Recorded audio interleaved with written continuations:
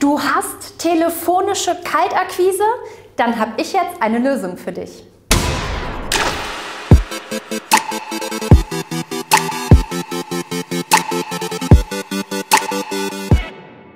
Hallo und herzlich willkommen. Ich bin Vanessa Wenk, Unternehmerin und Immobilienmaklerin. Und heute gehe ich auf ein Thema ein, was ihr euch da draußen gewünscht habt. Ihr habt nämlich immer wieder Probleme mit Akquise und ganz insbesondere Kaltakquise.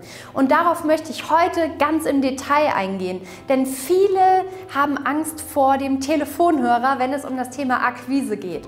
Und ich zeige dir jetzt, wie du mit schriftlicher Kommunikation auch Kaltakquise Kaltakquise machen kannst, aber es ist wesentlich angenehmer und du kannst auf der anderen Seite nicht diese negativen Einwände immer behandeln. Also das heißt, es ist auf jeden Fall wesentlich einfacher, angenehmer und wesentlich schneller für dich selbst, um da ans Ziel zu kommen und neue Objekte zu akquirieren oder eben andere Aufträge zu akquirieren. Als allererstes solltest du dir eine Akquise-Pipeline machen. Also das heißt, du sammelst jegliche Arten von privaten Inseraten, von Eigentümern, Eigentümern, die du proaktiv anschreiben kannst. Also das heißt, du setzt wirklich deinen Fokus auf verschiedene Portale, auf Zeitungen und so weiter und du schaust, dass du möglichst viele Inserate für dich sammelst, damit du dann also wirklich in einem Abwasch sozusagen ähm, einmal alles bearbeiten kannst. Falls du wissen willst, wie du dich überhaupt organisierst mit den ganzen Inseraten, die du sammelst, schau einfach nochmal in meinem älteren YouTube-Video, das verlinke ich hier unten einfach in der Videobeschreibung,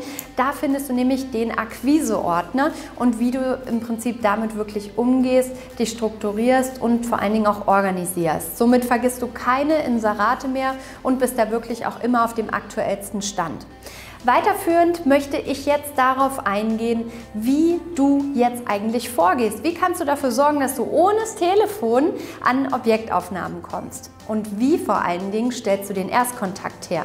Weil das ist ja wirklich immer das Schwierigste, wenn du kalt, ganz kalt, eiskalt jemanden anrufen musst. Und von daher möchte ich jetzt noch mal ganz im Detail darauf eingehen. Bitte sorg dafür, dass du in sämtlichen Portalen, Zeitungen und so weiter Anzeigen findest, wo es eine Kontaktmöglichkeit gibt, per E-Mail oder Anfrage senden oder in einem Zeitungsinserat eine Chiffre-Anzeige ge äh, geschaltet worden ist. Das heißt, genau diese Anzeigen sammelst du alle in diesem Ordner und versuchst die erstmal zu bündeln. Bevor du loslegst und bearbeitest diese ganzen Inserate, solltest du als allererstes eine Vorlage erstellen. Eine Vorlage, wie du auf diese Inserate eingehst und versuchst, den Eigentümer für dich zu gewinnen.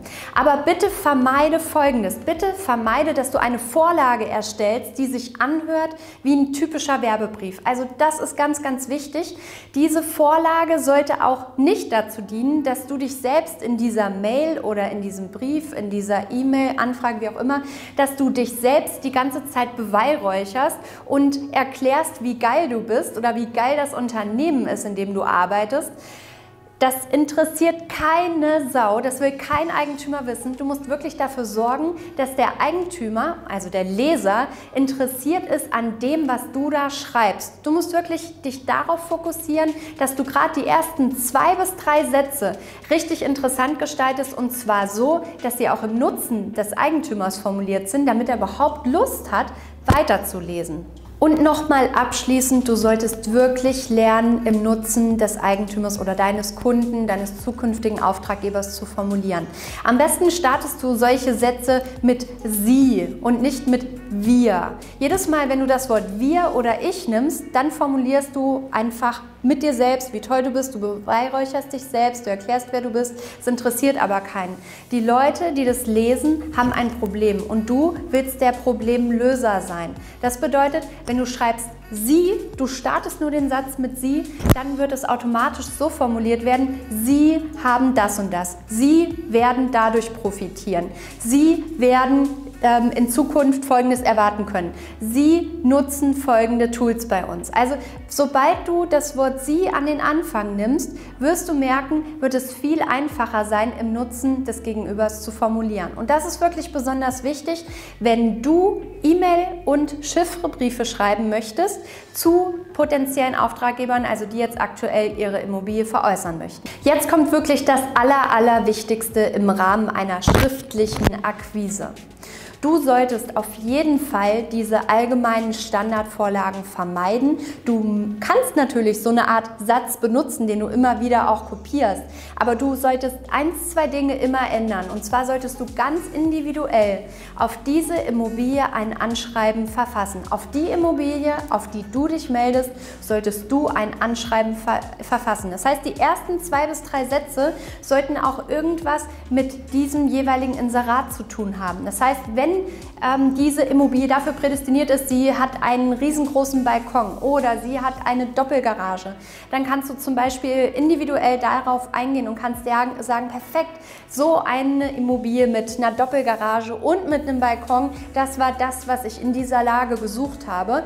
Und toll, dass Sie das inseriert haben. Ich würde mich wirklich freuen, wenn wir dazu sprechen können. Also wirklich irgendwas mit aufnehmen, was du vorher in dem Inserat des Eigentümers entdeckt hast. Und sei es ein kleines Zeitungsinserat gewesen und da steht nur eine Wohnfläche drin und der Preis und du weißt noch den Ortsteil. Dann kannst du auch das nochmal in dem Brief zusammenfassen und nicht einfach die Anzeige abschreiben, sondern wirklich individuell auf die einzelnen Ausstattungs- und Objektmerkmale eingehen, darauf wirklich den ersten Absatz ausrichten und im zweiten Absatz dann auf dich selbst als kompetenten Ansprechpartner eingehen. Mit meinen Mitarbeitern und mit meinen Mentees habe ich sogar eine Reihenfolge erstellt von verschiedenen Briefen, die man auch immer nach einer gewissen Zeit dann an diese Eigentümer, die etwas inseriert haben, schickt. Und wir haben auch einen Turnus festgelegt, in welchen Zeitabschnitten man sich wieder bei diesen Eigentümern zurückmeldet. Also, wenn dich das interessiert, schreib mir einfach auch hier unten mal in die Kommentare oder wenn du dir auch noch ein Video dazu wünschst, auch gerne hier unten reinschreiben. Dann denke ich nochmal drüber nach. Vielleicht erstelle ich dann einfach nochmal ein Video für euch. Ich hoffe, ich kriege für dieses Video ein ganz fettes Like und ich freue mich, wenn du diesen YouTube-Channel abonnierst und die Glocke hier aktivierst, denn dann bist du direkt beim nächsten Mal wieder informiert, wenn das nächste Video von mir online geht. Ich freue mich, wenn du dann mit dabei bist. Bis zum nächsten Mal. Ich bin Vanessa Wenk und tschüss.